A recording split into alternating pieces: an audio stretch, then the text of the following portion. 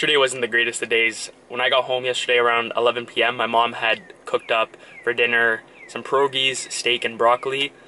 And that is going to be the biggest struggle is trying not to eat mom's cooking uh, unless otherwise I can fit it in. Yesterday was supposed to be a rest day and I only had like 120 grams of carbs.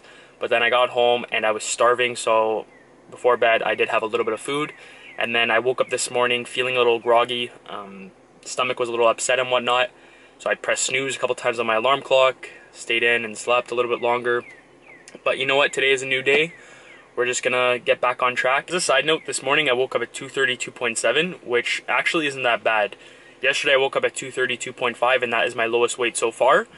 Now, my weight average for week one was 234 pounds, just over a little bit.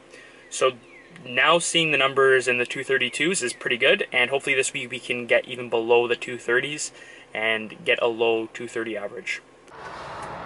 It's so annoying. Because no one ever lets you in, too. Yeah, you know that Toronto is the fifth worst place for commuting in the world. It's one of the worst cities in the world for commuting. It's brutal.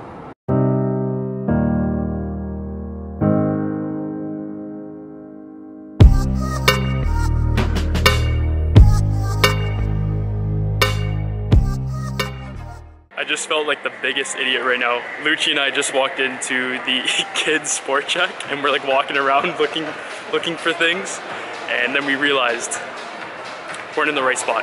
Yeah, not gonna fit us.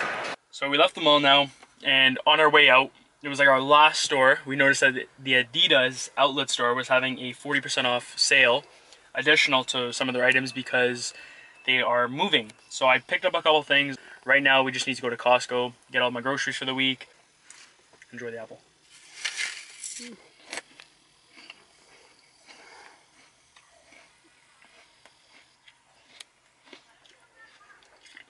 I love these Smittens apples.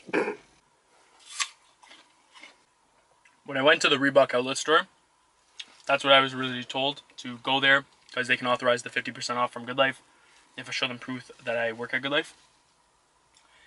And they turned around and said that they couldn't authorize it. They said I need to go to the head office one. I don't know. I was referred to go to this one, and clearly they couldn't do it, so disappointing as always. But we need to get these shoes. Operation buy shoes. you doing now, my shoes? Really? I know they're bad. I need new shoes. That was one of the most expensive shopping trips ever at Costco in a long time. The total came out to $190. Now, disregard, obviously my mom's stuff was like $55. So that's 135 for myself. So the avocado, turkey bacon, and the bubbling water, or sparkling water, was an additional like 40 bucks.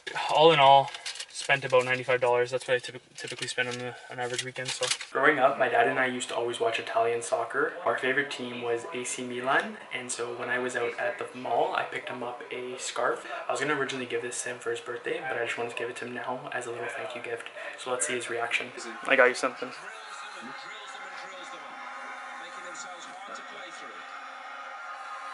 Yeah, poor AC Milan, eh? I know. How do you like it? Beautiful.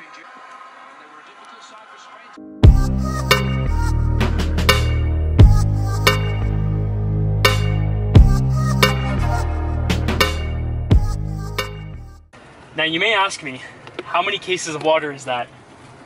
Originally it was supposed to be 12, got 15 cases. Now don't be surprised, this is what we normally do. My family, we always get this many cases of water. How many guys do you think we're gonna get? I actually think we're gonna get that many. We'll my buddies come, then we can at least have five. And then I'm sure there might be guys at the park. No? No, nobody's gonna be there. No one comes out anymore. I know, it's. Well, we're. I know, Andrew would turn around and say, oh, because we're older. Soccer, soccer.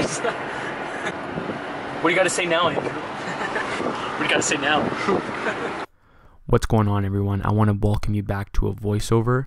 It's been a hell of a long time since I've done one of these, but let's get started. I'm going to be taking you through my push workout. So, we started off with doing an incline dumbbell press.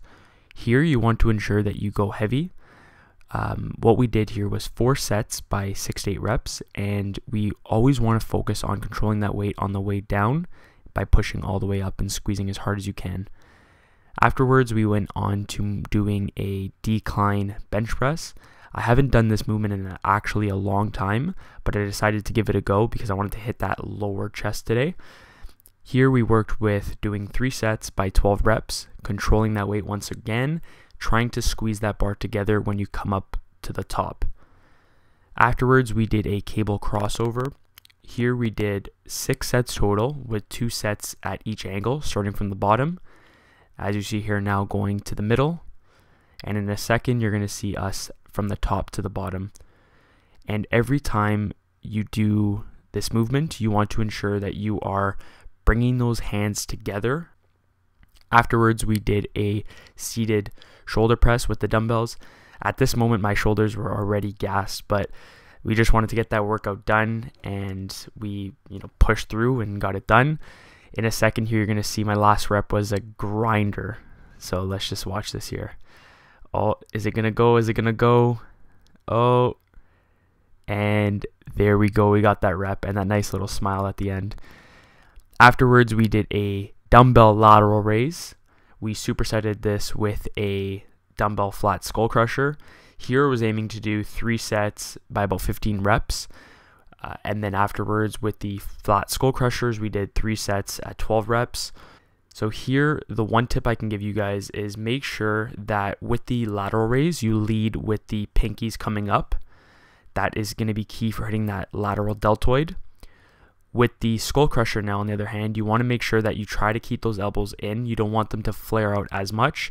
Naturally, you will have some flare, but you do want to keep them in as much as possible. And lastly, we finished the workout off with doing a cable push down. We did a 3 by 12 here, just again squeezing as hard as you can at the bottom of the movement. Now stay tuned for the rest of the video.